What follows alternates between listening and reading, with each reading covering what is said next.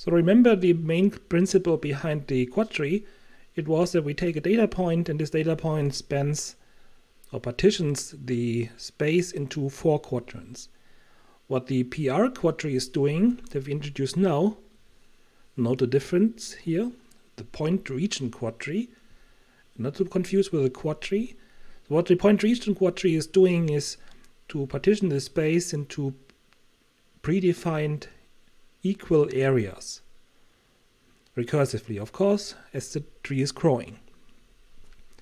Trees that are using a predetermined or fixed way of space partitioning are also called tries.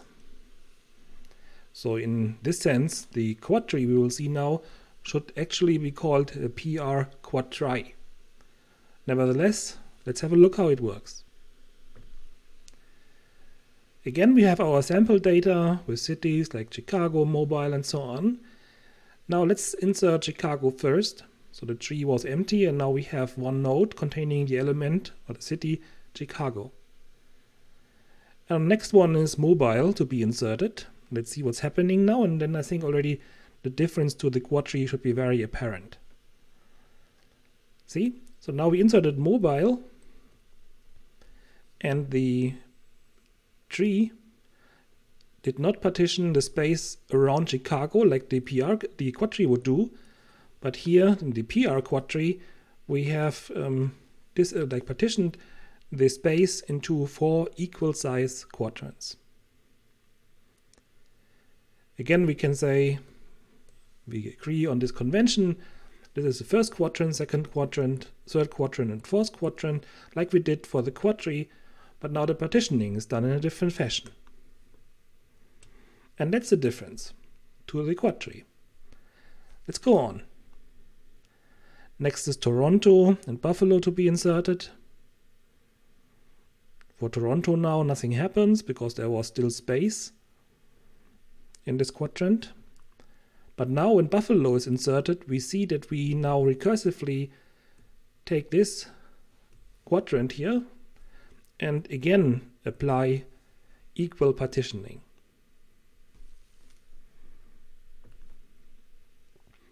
In the end, the tree looks like this. You see, you have like some larger empty quadrants, like here. And here, where it's necessary, you have quite many quadrants.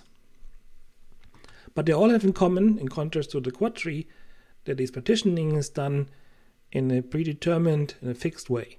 So not according or around the individual coordinates of the objects, but the quadrants are partitioned in every level in a uniform fashion. So the tree looks uh, different to the quadtree. Now what are the consequences of the, the insertion here compared to the quadtree insertion? Well, the first consequence is that the inner nodes are not really containing any useful information because of the way of the partitioning works. You don't have to store anything there because you can compute the coordinates of the quadrants you're currently looking at by the way you have tra traversed the tree. The other observation is that the insertion order does not matter, does not influence the shape of the PR quad tree, as opposed to the quad tree, of course. Here's the quad tree for the previous example. You see that the data points are stored at the leaf level and the inner nodes have only the task to guide your query and the insertion or deletions or updates through the tree. I said earlier that the inner nodes do not store or you don't, don't have to store any data because when you're here at this position and you know the, the um, range of your data space, then you know pretty much or know exactly what this quadrant here stands for, which is the northeast quadrant. And since you know the how the data space looks like, the entire data space looks like, you also know what the northeast data space looks like, or space looks like. So you don't have to store anything about the dimensions here because it just naturally is given based on the global space in A. Now this of course applies for other levels as well. So if you're here at the C level, and then you would go down here to the E inner node. Again, we don't have to store any information here because we know that C was the, what was it? It was the southwest quadrant of the top of the root and E is then the northeast quadrant. So we know precisely how E looks like, right? It's from our global space. First we go in this quadrant here and inside here E stands for this quadrant. So we know already how it looks like because the partitioning is done in a uniform and a fixed, in a predetermined way. So you don't have to store anything in the inner nodes. So summarizing this, how this works. it's written here again can be computed. And the insertion, well, it starts from the root node and you're always then comparing what is the data point, which quadrant does it belong. You can, um, if you're not storing any information in the inner nodes, you have to compute, of course, the coordinates of the quadrant of the children, and then you're finding your way down in the end and you're placing the new object there or you're updating the existing object. Now an interesting observation is that if you have data like which is very close to another data point, in order to put them into different quadrants, it can happen that this uh, recursive partitioning appears very often for one specific insert. So if you have a space like this, and you have two data points, what the quadtree would do, take the first point, take the second point, oh, we have to partition, let's partition, right? Okay, this was not good not a good drawing, this partitioning, right? So now we're done. But what would the PR quadtree do for the same points? It would try to partition as long as these two points are falling into the same bucket, or the same quadrant. And in this case, you see they're still in the same quadrant. In this case, they're still in the same quadrant. And if you're unlucky, I'm faking this now, you understand what, I, what I'm doing, right? So they're still in the same quadrant, and now they're in two different quadrants, and now we are done. But you see what this insert was causing? It was causing so many levels of the tree being created just for inserting two points. And this is a difference to the original quadtree we have seen earlier.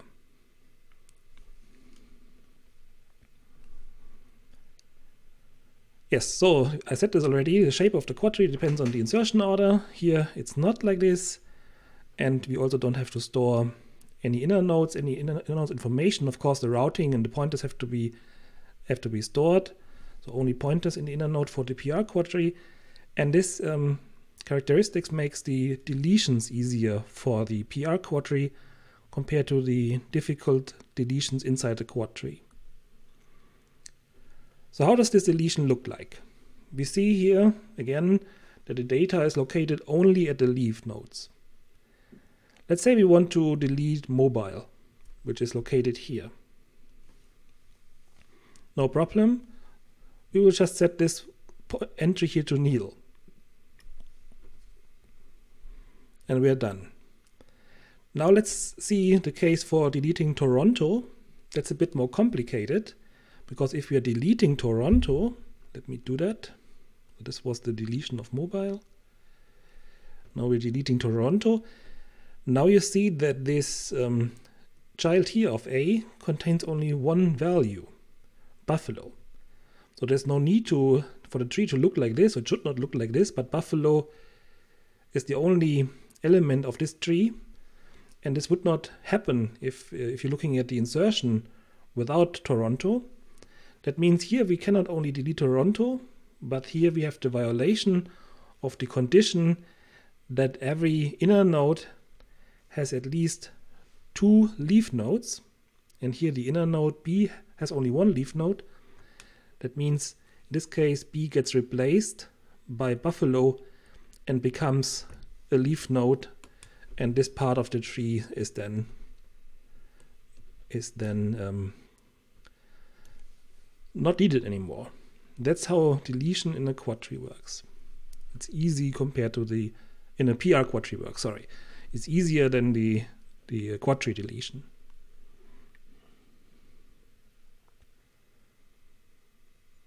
So now one more tree we want to talk about in this multidimensional data scenario is the so-called KD tree. The idea here is that if you reconsider how the splitting or the partitioning of the PR quadtree or the quadtree worked, it would always create 2 to the number of d partitions.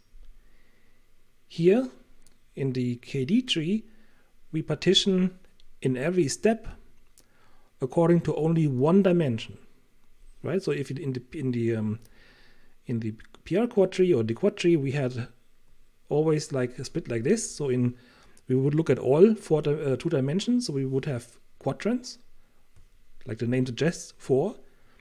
In the quad in the KD tree that we see now, we split first by the first dimension, and if another split is needed for the partition, we uh, take the next dimension and then we start again with the first dimension in the case of two dimensions. The shape of the tree depends on the insertion order. Let's have a look. It's also very intuitive how this works. So we have Chicago and then we want to insert mobile later on. So then we have to partition the space and in contrast to the quadtree we have seen in the beginning that would do like this. The KD tree is just taking the first, the x coordinate, and just is doing the um, partitioning like that. Yeah, a bit more accurate than my drawing, but you get the point, right? And now we continue, and now we have two partitions, this one and this one. And if we have to split further on these partitions, we would partition them based on the y coordinate and so on.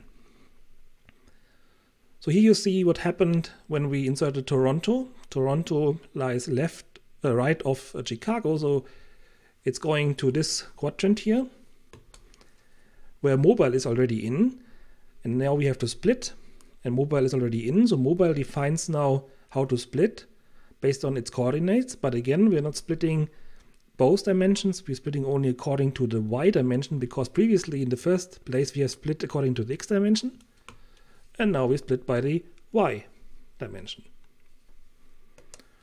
This is the result. Now we have two new quadrants, this one and this one, and if we were to split these again, we go for the x coordinate again. It's always alternating throughout all of the dimensions right? So a buffalo comes in, and as I just said, we're using now inside the quadrant where Toronto lies, using the x coordinate again, which is this split.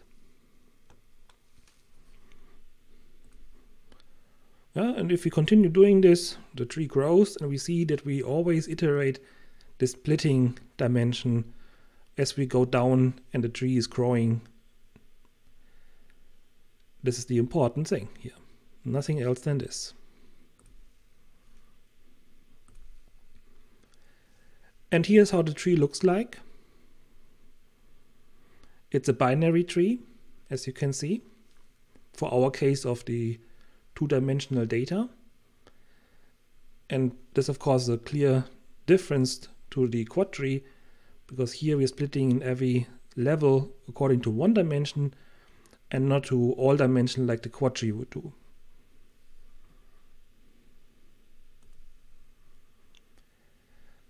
So this slide is left um, intentionally empty. I was surprised myself. It seems I forget every year to remove it. Did not want to remove it now because then the, the page numbers for those that have printed perhaps the script will be messed up. But since we're talking about trees and it's the time of the year again, I want to illustrate another tree, very important tree, and you all probably know this one. This is, of course, the Christmas tree. And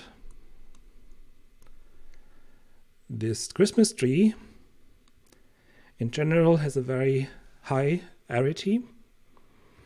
And depending if you're spending enough money, it has also a nice fan out. In case you go for the cheap one, it might be like in worst case a binary tree, which is like very high but not enough fan out. These are the jokes you do if you have uh, spent too much time looking at index structures in trees. In any case,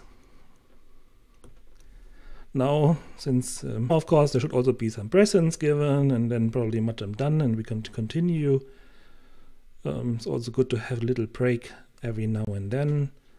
So let's see what we do with this one. So there's like some wrapping, of course, and some. Okay, so let's go um, on with the more serious things. And we're almost done with the KD tree, looking at KD tree variants. So if you're looking how the splitting works in the KD tree, you can think of multiple ways how the splitting is done. It does not have to be always according to the coordinate of the last object that you inserted or the object that, that um, defines this quadrant. It can also be according to the data distribution. For instance, the mean is used in this dimension that is next to be used for splitting. It's also not said that you have to alternate dimensions. In the adaptive KD tree, for instance, you're deciding which dimension you're using according to the data distribution as well.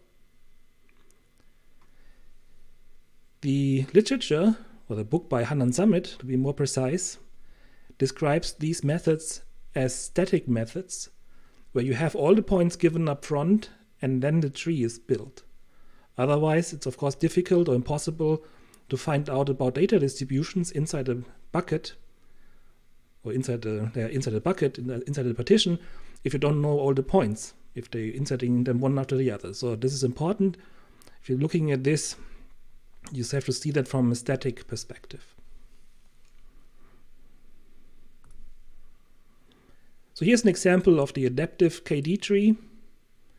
So you see it's not the case that these dimensions are alternating and it's also not the case, as you can see here clearly, for instance, here or here or here, pretty much everywhere, that the um, split is not going through the data point itself.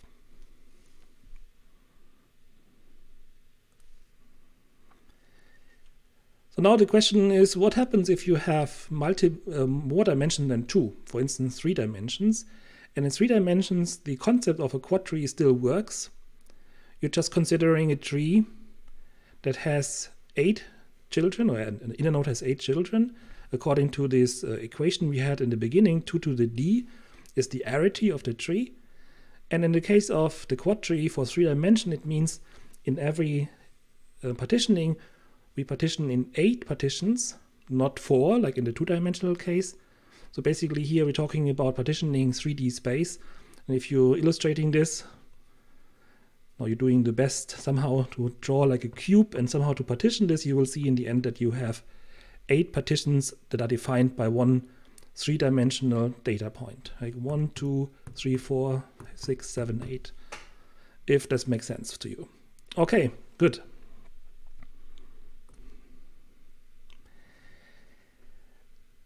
If you paid close attention to the way these algorithms or these index structures work, you might have overlooked something, something important that we mentioned in the beginning of the course, namely the problem of binary trees or like low arity trees for search because of the low fan out and the I.O. cost of a hard disk.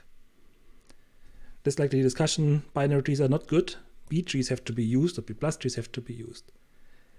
This is of course also considered in index structures on multidimensional data, not, not for the simple methods here, but there are force, like further approaches that would use or extend the presented approaches like the quadtree and the PR quadtree um, that they can work with so-called buckets.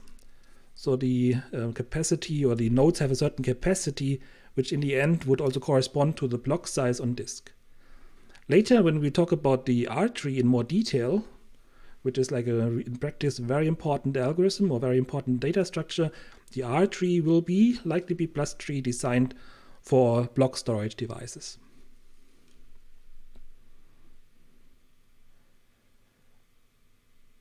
And to conclude the discussion about indexing multidimensional data, one uh, further important concept should be mentioned, the concept of space filling curves.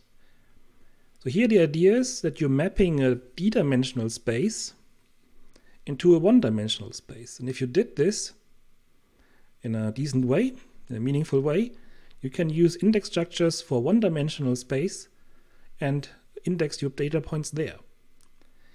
Here, for space filling curves, well, the concept of space filling curves is older than people talking about index structures, but this is like the idea why we're talking about this now. So the idea behind the, the mathematical or the original idea behind space filling curves is that you're looking at your d-dimensional space and you're drawing a line through the d-dimensional space and the length of the line you have drawn, which is enumerating the points, is giving you the one-dimensional coordinate. So in a 2D case, it means you have a data point which coordinates x1 and y1, and you're drawing um, like a space filling curve. So you have a data space and you're drawing some space filling curve. We'll see later on how this can look like, for instance, like this and continuing. And then the if you're looking at this is the first point, second point of the curve, third point, and so on. And then and then this is the point, let's say you're looking at this one here. This will get in the 1D space the coordinate one, two, three, right? Now the idea is that if you have a point P2, which is located in a different place, and this is close to P1, then the value, the length of the line M, should be similar. There are multiple different space filling curves proposed.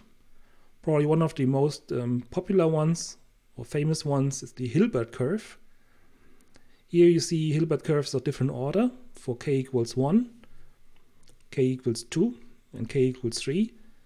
And depending on your on the um, space you want to index and the number of points you want to index, you have to choose your um, order correctly. Here you can index four points in a simple Hilbert curve, and it's getting more and more like um, detailed. And you see the, why the name uh, is, is, like uh, pretty accurate space filling curve. So this curve is filling up the space and whenever it meets a point you can interpret the length, the number of yeah, points before as the dimension or the one-dimensional representation of a data point. So this is like an old work, it's from 1891. It's even like has a, a German title. Um, so if you want to improve your German and learn something about Hilbert curves, you might want to have a look. Uh, probably not really, I'm just kidding. But it's still interesting to see um, how old such approaches can be. Z-curve is another famous one. You see that this is resembling a set. Here it's very obvious. And here using a higher order. This is what I, what I wanted to draw earlier. Pretty uh, worked out pretty well. Um, and again, the higher the order is, the more points you're indexing. The way you're using it is the same as for the Hilbert curve or in general for space filling curves in our sense of indexing multidimensional data. You're also looking here for the length of the line or the curve and then taking the length as the one-dimensional representation. Here's a bit more detailed example of how the enumeration works. I copied this from Wikipedia. And then if you're wondering how you're computing this, uh, the Z-curve is easy to compute. Basically, you're taking the binary representations of the coordinates x and y, and you're getting the Z-curve value by bitwise interleaving of the x and y bit um, wise representation. Yeah, so you're doing here interleaving it.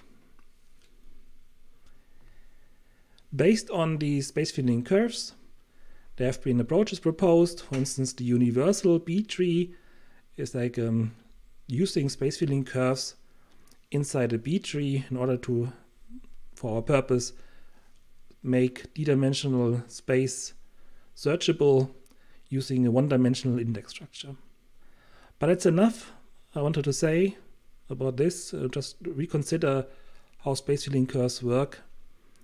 And then you can also see, you can also compute how well they work and how, but how much mistake they're doing if you're using the space filling curve similarity or the value compared to the true, let's say, Euclidean distance or Manhattan distance.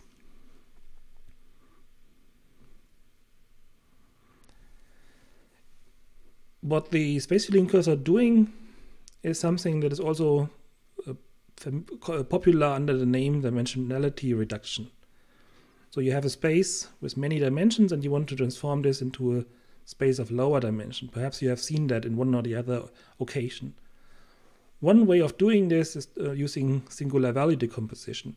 For those that have seen that in the undergraduate course, we did this for latent semantic indexing, LSI, for our search engine. This is like also uh, one way to reduce the space, like the space filling curves in the extreme case reduced to dimension 1, and here for in a general way to look at this uh, dimensionality reduction reduce dimension from d to d prime, where d prime is of course uh, considerably smaller than d. Just for completeness, I want to mention this. If you want to look more into dimensionality reduction, there's a link given here.